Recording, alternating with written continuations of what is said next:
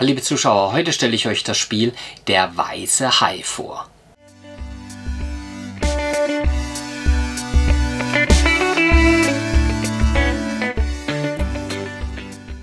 Der Weise Hai, in dem Fall das zweite Video, weil es gab sogar schon ein Video auf dem Kanal, wo ich euch das kurz und knackig vorstelle. In dem Fall äh, in Essen bei Ravensburger wurde mir das Spiel in Kürze vorgestellt.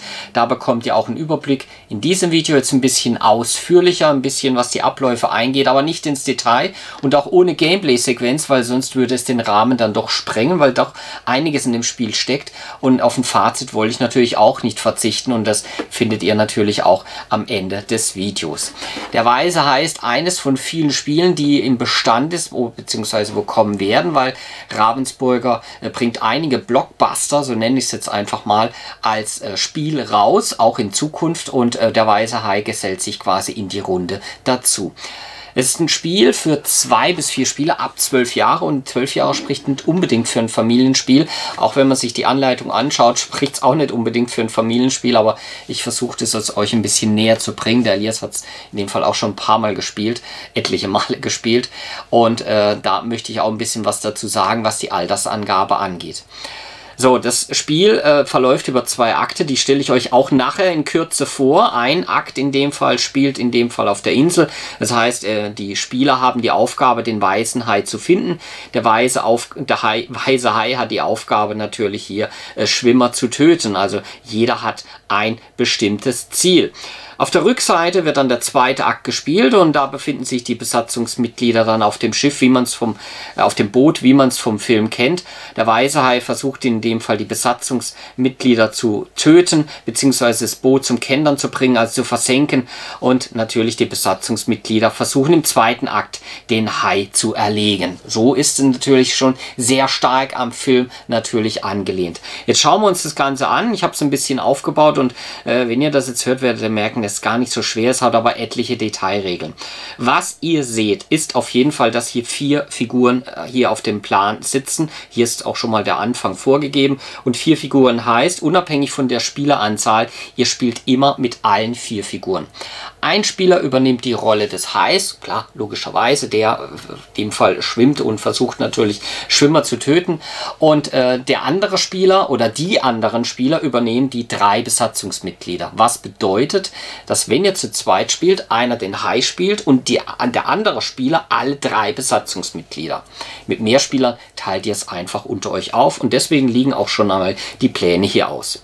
So ähnlich wie es Scott in die Art-Manieren, deswegen verweise ich, hoffe nicht zu oft nochmal auf das Spiel, äh, nimmt sich der weiße Hai einfach diesen Block und auf diesem Block wird dargestellt, äh, wo er denn überhaupt startet, auf welcher Position. Das heißt, er gibt entweder die Zahl vor oder in dem Fall den Buchstaben Norden, Süden, Westen oder Osten und trägt es dann hier ein.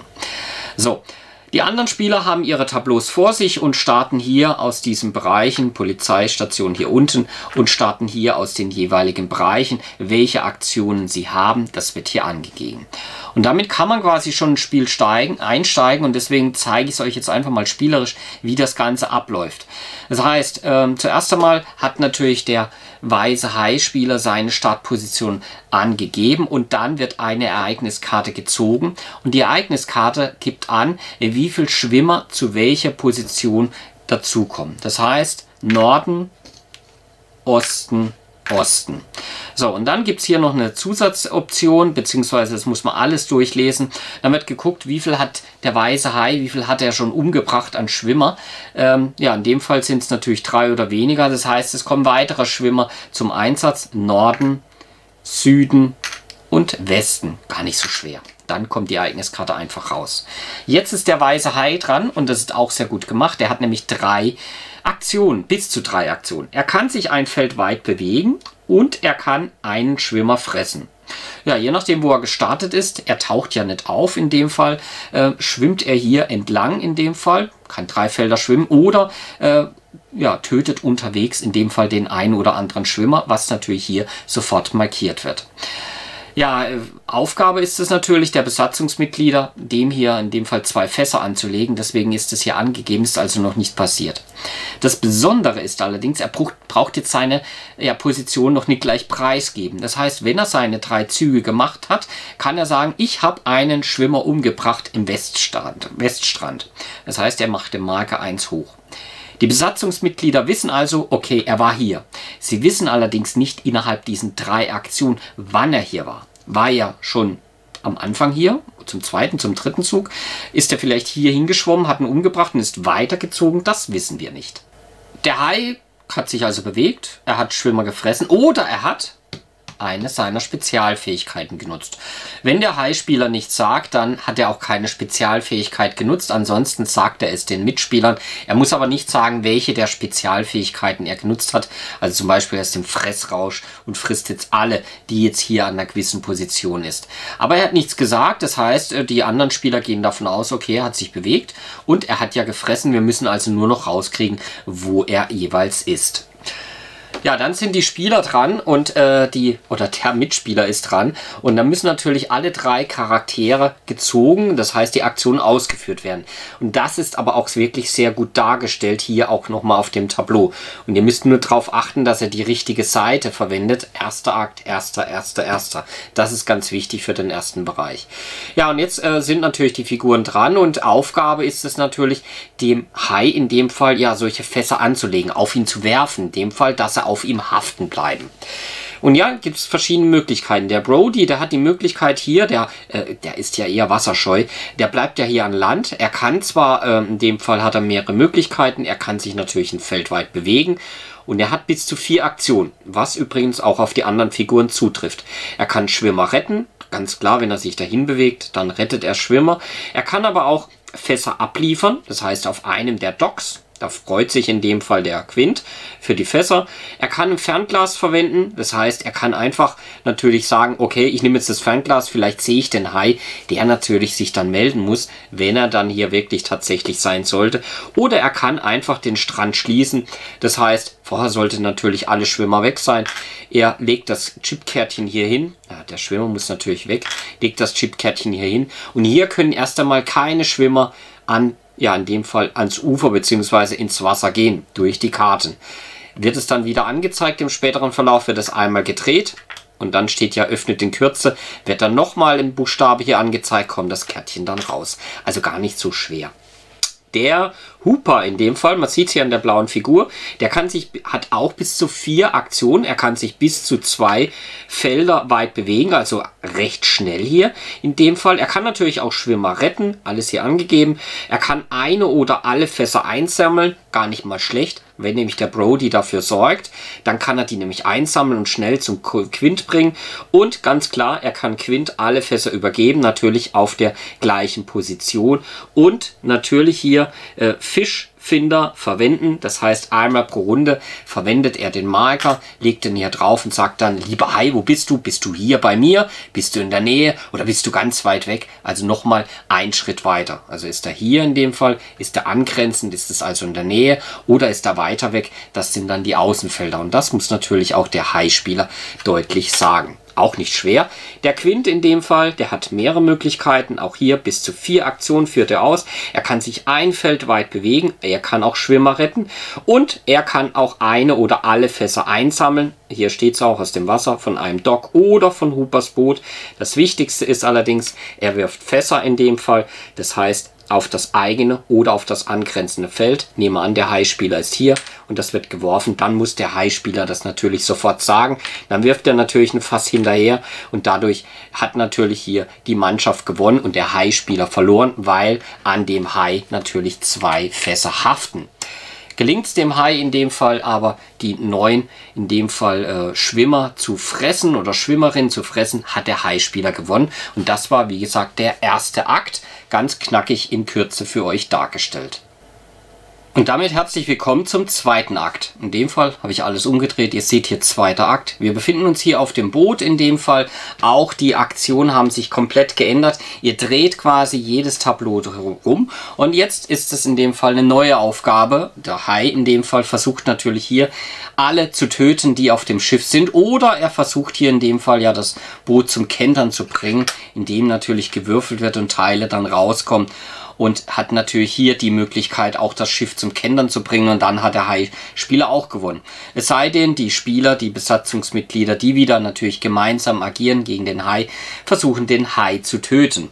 Dazu muss man natürlich erst einmal schauen, was im ersten Akt herausgekommen ist. Wie viele ja, Schwimmer wurden getötet, Schwimmer, Schwimmerinnen wurden getötet. Abhängig von der Anzahl bekommt der Hai-Spieler Spezial Karten, also Spezialfähigkeitskarten, eine gewisse Anzahl und die restlichen kommen dann raus. Gleichzeitig bekommt auch hier, abhängig vom Wert, die Besatzung natürlich zusätzliche Karten, in dem Fall Ausrüstungskarten. Auch da gibt es einige und die werden dann einfach an die vier, an die drei Spieler dann verteilt. Die legt man zur Seite und verteilt es dann an die Spieler. Das schon mal vom Anfang, also schon ein bisschen mehr, was man dann am Anfang machen muss, auch was die Übersichtlichkeit angeht. Und das kriege ich fast gar nicht alles auf die Kamera drauf, damit es klar ist und ersichtlich ist, was denn hier passiert. Weil jeder Spieler natürlich hat hier an Bord natürlich auch einige Waffen. Ganz klar, Nahkampf- und Fernkampfwaffen, Fernkampfwaffen. Es kommen allerdings noch die Karten dazu, die die Spieler unter sich verteilen, die man dann jeweils dann zuordnet. So, die Aufgabe ist klar. Jetzt ist nur die Frage, wo greift denn der Hai an, beziehungsweise was macht er? Dazu wird, und das schiebe ich jetzt einfach ein bisschen runter, werden solche Auftauchkarten verwendet. Und die Auftauchkarten, die werden einfach hier drei einfach angelegt hier von A, B und C. Dann werden die Marker in dem Fall platziert. Das heißt, man schaut hier, okay, wo greift der Hai an? Er greift eventuell, greift er hier an. Er greift eventuell im hinteren Bereich an oder er greift eventuell dann hier an. Also recht einfach. Der Hai-Spieler muss sich natürlich überlegen, wo greift er an. Je nachdem nutzt er eine Spezialfähigkeit, um einen stärkeren Angriff äh, auszuführen. Das heißt, er nimmt seine Marker und ja, sucht sich einen dieser Marker aus, legt den verdeckt auf seine Karte und hat damit seine Aktion auch erfüllt. Aber die anderen Spieler müssen sich dann überlegen, wohin sie gehen. Sie können sich natürlich auch bewegen auf benachbarte Felder, es sei denn, sie sind im Wasser, dann brauchen sie alle Energie wieder, um an Bord zu gehen, aber sie haben unterschiedliche Möglichkeiten. Zum Beispiel entscheidet man sich natürlich abhängig von den Gegenständen, die man hat, ob man stehen bleibt. Zum Beispiel der A-Spieler bleibt stehen und sagt, nein, ich mache hier eine Nahkampfwaffe mit einer Machete, möchte ich hier schlagen, ich tippe drauf, der kommt hier raus. Ja, der schwarze Spieler, der sagt einfach, okay, ich habe einen Baseballschläger, ja, ich tippe auch drauf, ich bleibe aber hier einfach stehen. Und der Spieler sagt, na, ich schaue mir das lieber von der Entfernung an, aber ich nehme meine Fernkampfwaffe in dem Fall, das heißt, er hat ja ein Gewehr und schießt dann auf dieses Feld. Und jetzt merkt ihr, uh, das ist schon ein bisschen schwieriger, was da hier nämlich passiert. So, das ist das erste. Und dann wird natürlich aufgedeckt, das Plättchen, je nachdem, wo der Hai dann zum Tragen kommt, äh, je nachdem hier, weil er jetzt das Plättchen B genommen hat, wird es dann ausgeführt. So, jeder führt natürlich seinen Angriff aus. Das heißt, hier, der schießt auf jeden Fall hier auf dieses Teil. Er hat ja auch das Gewehr. Und dazu nimmt er die Würfel. Mit einem Gewehr natürlich nimmt er zwei Würfel. Es kommt auf jeden Fall ein zusätzlicher Schaden. Aber diese Summe, die hier erzielt wird, das heißt, uh, diese 5 wird natürlich von dem Feld noch abgezogen, wo man dann steht. Das heißt, es ist ja hier das B. Das heißt, es wird auf jeden Fall eine 2 noch abgezogen, also 5 Minus 2 ist 3 und dadurch, und deswegen kommt auch diese Rückseite zum Tragen, wird hier der Wert abgetragen. Das heißt, der Hai ist schon verwundet worden. Er ist das auf 3. Das heißt, deswegen auch hier dreht ihr das um in dem Fall. Und der Hai in dem Fall, ja, mit 17 Schaden, beziehungsweise höher als 17, ist ja dann tot und dann haben die Spieler gewonnen. Ja, aber der Hai, der wehrt sich, der wurde ja angegriffen, jetzt wehrt er sich natürlich auch. Und abhängig davon, ob er Spezialfähigkeiten gespielt hat, würfelt er natürlich auch in seinem Zug ganz klar mit einem Würfel und er versucht natürlich auch Spielplanteile hier umzudrehen. Und man sieht ja, was hier benötigt wird, um je nachdem das komplette Teil aus dem Verkehr zu ziehen, also dass es untergegangen ist oder dass zumindest mal ein Teil umgedreht wird, abhängig vom Schaden, der hinzugefügt wurde, sodass das Plättchen dann einfach umgedreht umgedreht wird. Jetzt ist es einfach, jetzt braucht man auch nur noch einen Schaden, um dieses Planteil ganz rauszunehmen. So funktioniert das Ganze, auch jetzt wirklich in Kürze euch mal gezeigt, was ihr für Optionen dann habt. Natürlich gibt es hier noch viele Möglichkeiten, die hier dann noch dabei stehen, was man machen kann in dem Fall. Man muss darauf achten, was mit dem Gewehr ist. Hat man Munition? Weil je nachdem kommt das Gewehr dann raus. Ihr habt natürlich mehrere Möglichkeiten. Beim Hammer zum Beispiel wird dieser Wert dann gar nicht gezählt. Also da sind sehr, sehr viele Details, die ich jetzt allerdings an dieser Stelle einfach euch aus ja, Kürze jetzt erst einmal weglasse, weil ihr sollt einfach ein Gefühl bekommen, was denn hier gemacht wird. Das heißt, in der nächsten Runde kommen wieder die Karten weg, es kommen wieder drei neue Karten nach und dann entscheidet natürlich der High-Spieler, wo gehe ich, auf welches Feld gehe ich. Die Spieler überlegen, wo geht der Hai wohl hin, welches Teil greift er an, weil je nachdem kann es auch sein natürlich, dass ein Spieler, ein Besatzungsmitglied im Wasser landet und äh, ist da der Hai, weil er gerade da angegriffen hat, dann hat der Hai natürlich noch die Möglichkeit, diesen Spieler anzugreifen und deswegen gibt es auch hier eine Leiste hier auf der Seite, wo dann gewürfelt wird. Der Hai-Spieler nimmt also einen Würfel und fügt dem Spieler und deswegen gibt es auch weitere Marker hier einen Schaden zu und hier bei größer als 5, also bei dem Wert von 6, in dem Fall ist der Spieler weg und so sind nur noch die restlichen Spieler hier vorhanden.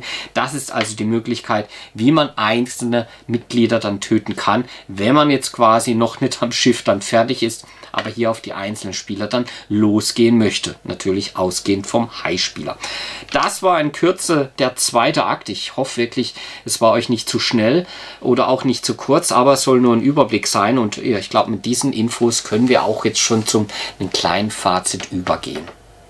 Ja, sicherlich war es dem einen oder anderen jetzt zu schnell oder zu kurz, je nachdem, wie man es auslegen will, was den Bereich dann angeht. Äh, ich wollte euch aber einen Überblick hier zu dem Spiel verschaffen. Ich habe überlegt, äh, mit Gameplay-Sequenzen das Ganze zu bestücken, bestücken habe dann auch das äh, mal gedreht und habe dann gemerkt, es geht dann doch ein bisschen zu lange, weil man dann doch etwas, gerade beim ersten Teil, so eine Downtime hat, wo man einfach sagt, hm, könntest du da sein? Moment, da nehme ich das Fernglas und der geht erstmal hier in das Fass. Nee, da musst du da sein. Moment, du hast drei Aktionen und das hätte sich dann doch in die Länge gezogen. Deswegen habe ich mich jetzt einfach für die kurze Variante entschieden. Das ist ja quasi auch schon das zweite Video. Das erste ist auch richtig knackig, wo ihr einen Überblick bekommt. Aber ich glaube, die Art und Weise reicht euch hoffentlich, um euch ein Bild über das Spiel machen zu können. Was die unterschiedlichen zwei Teile angeht, ihr könnt es auch separat spielen, macht für mich aber gar keinen Sinn, weil der zweite Teil knüpft ja an den ersten an. Da zeigt sich ja, wie gut oder schlecht man als High-Spieler ist, was man da noch zur Verfügung bekommt. Und deswegen lohnt sich das Ganze in einen Rutsch zu spielen. Wir haben aber oftmals auch den ersten Teil ein paar Mal gespielt und sind dann einfach gesagt, okay, jetzt gehen wir in den zweiten Teil über. Das bleibt natürlich euch überlassen, aber streng genommen spielt ihr eigentlich beide Akte durch und dann kann schon das Spiel so 60 bis 75 Minuten dann dauern. Ja, die beiden Akte könnten bunter und unterschiedlicher nicht sein. Das Ganze erinnert, wiederhole mich jetzt nochmal ein bisschen an Scotland Yard. Allerdings sind die Aktionsmöglichkeiten äh, doch sehr gering. Aber das waren sie auch bei Scotland Yard. Da mache ich auch nicht viel. Da ziehe ich, da fahre ich mit dem Taxi und dann ist gut. Ähnlich ist es hier. Ähm, das heißt, je nachdem, was man für eine Person dann übernimmt, der High-Spieler zieht man und wartet dann einfach ab, was die Mitspieler machen. Und ja, dreht Däumchen kann erstmal eine Weile gar nichts machen. Ja, ist aber bei anderen Spielern genauso, weil da muss man erstmal schauen, wie die anderen Spieler überlegen und wie sie sich absprechen. Zu zweit ist, äh, was den ersten Akt angeht, es durchaus gut spielbar, auch mit drei Figuren. Das haben wir auch ein paar Mal ausprobiert. Ist durchaus machbar. Es ist eher ein Problem, zu viert das Ganze zu spielen. Das haben wir nämlich auch ausprobiert, äh, weil, ja, in dem Fall der eine oder andere macht dann doch sehr wenig mit seiner Rolle in dem Fall. Okay, ja, du kaufst jetzt ein Fass, lieferst es ab, das war's. Oder der eine sagt, ich hole mir das Fass, wirf's jetzt ins Wasser, das war's. Also die Möglichkeiten, gerade wenn ihr mit mehr Spielern spielt und die Rollen natürlich verteilt, ist natürlich noch geringer. Zu zweit habt ihr dann doch mehr Möglichkeiten, weil ein Spieler einfach mehr Rolle übernimmt. Und das kriegt er auch hin. Habe ich am Anfang auch gedacht, hui, ob der das hinkriegt äh, zu zweit, das habe ich jetzt aber mehrfach probiert, auf beiden Seiten zu spielen. Das hat auf jeden Fall funktioniert. Als High-Spieler hat man natürlich schon durchaus die, äh, wird durchaus schnell erkannt, hatten wir auch in zwei Runden, dass wirklich nach zwei Zügen, zack, der High in dem Fall erkannt wurde, weil man einfach zwei Fässer da reingeworfen hat und zack, hat es geklappt. Da muss man natürlich schon schauen, wie man mit seinen Spezialfähigkeiten umgeht und dies sollte man durchaus nutzen, gerade wenn man vielleicht noch nicht so viel Spielerfahrung hat, was den Bereich ankommt. Also der erste Teil war durchaus ja, schmackhaft, hätte ich jetzt beinahe gesagt. Ähm, der war dann schon, wo ich sage, ja, teilweise haben wir dann, sind wir doch auf unsere äh, Kosten gekommen, was den Spaß angeht, aber es gab auch Runden, muss man auch ganz deutlich zugeben, die waren sehr mau. Und das war insbesondere, und jetzt ziehe ich es in den zweiten Teil, beim zweiten Teil der Fall, weil am ersten Teil, der Elias hat es ja auch ein paar Mal gespielt, ersten Teil hat er noch gedacht, erst nach, oh, kann ich mal so schlecht, ganz witzig, machen wir gleich nochmal. Aber spätestens im zweiten Teil, da geht jedem Licht auf. Zumindest bei uns war das bei allen so, auch bei mir, wo man gedacht hat, was ist denn das? Also der zweite Akt war dann doch sehr, ja, an den Haaren herbeigezogen. Also da ging der Spaßfaktor wirklich ganz nach unten. Und das ist auch ein Teil, wo ich sage, da würde ich es eher nicht empfehlen, das zu zweit zu spielen, weil, ihr habt es jetzt gemerkt, ich habe mich in Kürze gefasst. Ich habe noch zwei Waffen, zwei unterschiedlich. Ich habe verschiedene Aktionsmöglichkeiten. Ich muss überlegen, wo ich mich hinbewege. Je nachdem muss ich natürlich schauen, habe ich noch weitere Waffen, Gegenstände, aufgrund von Teil 1, weil wir so gut oder zu schlecht gespielt haben. Und dann liegt hier eine riesen Auslage an Karten, je nachdem 10, 12 Karten locker und ich muss überlegen, wo ziehe ich hin. Wobei, ja, ich ziehe das hin, lege einen Marker drauf und tipp einfach mal, dass der Hai dort kommt. Vielleicht kommt er, vielleicht kommt er nicht. Also alles ein bisschen haarsträubend in dem Fall und Spaß hat es wirklich auch nicht viel gemacht und doch, doch sehr glücksbetont. Beim ersten Teil überlegt man doch, ja, ist der dort? Kommt. Wir setzen da mal ein Fass hin, falls er da durchschwimmt, dann zeigt er sich erkenntlich. Und im zweiten Teil, oh, da wird gewürfelt. Entweder klappt es oder klappt es nicht. Und äh, da hatten wir auch eine Partie, wo wir gedacht haben, ja, der Hai hat so gut wie gewonnen in dem Fall. Und dann gab es noch wirklich einen Teil, wo die Besatzung wirklich so klammfest an, an dem Teil saß und gehofft hat, dass wir jetzt gut würfeln. Und dreimal waren die Würfel wirklich glückselig an oberster Stelle, Volltreffer. Und dadurch ist der Hai am Schluss auch eher in dem Fall gestorben, so nenne ich es jetzt einfach mal. Und dadurch haben die Besatzungsmitglieder gewonnen. Ja, das ist schwierig. Also es ist echt schwierig und da war man dann wirklich bei dem Punkt, wo man gedacht hat, also hm, ist es jetzt noch gut reizvoll in einer gewissen Art und Weise? Natürlich, der, der Film ist ja auch sehr speziell. Ähm, natürlich auch das Spiel richtet sich natürlich auch an unterschiedliche Zielgruppen. Ist sicherlich auch nicht jedermann der Fall, aber letztendlich äh, war es spaßmäßig. Insbesondere was nach Teil 2 gesehen habe, wirklich so, dass ich sagen muss, keine Empfehlung, was das Spiel angeht. Es hat ja erst einmal die Altersangabe ab 12 Jahre. Es ist also kein Spiel für Familien, auch wenn ich es euch jetzt versucht habe oder ich hoffe, ist einigermaßen klar geworden, was ihr jetzt hier machen müsst. Es steht alles gut in den Regeln dann drin, aber die sind schon etwas umfangreicher, wenn man sich das Ganze überlegt, dass das vielleicht auch Familien spielen können. Das heißt, wir haben ja hier den ersten Akt in dem Fall mit den etlichen Aktionen und Möglichkeiten, natürlich viel Fließtext. Ob man das einer Familie zumuten kann, das ist schon grenzwertig. Hinzu kommt natürlich noch ein zweiter Akt, nochmal mit vier, fünf Seiten Regelwerk, äh, mit weiteren neuen Aktionen. Da ist schon, steckt schon einiges dahinter, was den Bereich dann angeht. Gut, der Elias mit seinen acht Jahren hat es gespielt, aber der hat auch viel mehr Spielerfahrung und der war recht schnell drin, weil man ihm natürlich durch die kooperative Spielweise, wenn, wenn er Besatzung mitgespielt hat, äh, ihm auch helfen konnte ein bisschen, sodass er schnell drin war. Aber er hat, er hat auch die High-Rolle übernommen, aber da haben wir auch relativ schnell gefunden, weil man dann doch einiges taktisch denken muss. Also Altersangabe 12 passt auch, ist sicherlich auch dem Thema ein bisschen geschuldet. Aber Zielgruppe der Familie ist es auf keinen Fall, dann ist es für mich eher ein Kennerspiel. Ja, und ob die geübten Familienspieler hier zugreifen, halte ich mal auch wirklich sehr für fragwürdig, weil dann doch sehr viele Elemente dabei sind, die entweder belanglos sind oder an den Haaren herbeigezogen sind, um das jetzt nochmal zu sagen, oder einfach zu viel dem Glück und dem Zufall überlassen sind. Und hinzu kommt, dass man teilweise wirklich nicht allzu viel macht hängt natürlich auch wieder von der Spieleranzahl ab, was den Bereich angeht. Wie gesagt, erster Akt könnt ihr gut zu zweit spielen. Der zweite Akt ja, ist ja wieder ein bisschen schwierig zu zweit zu spielen. Also probiert es je nachdem einfach aus.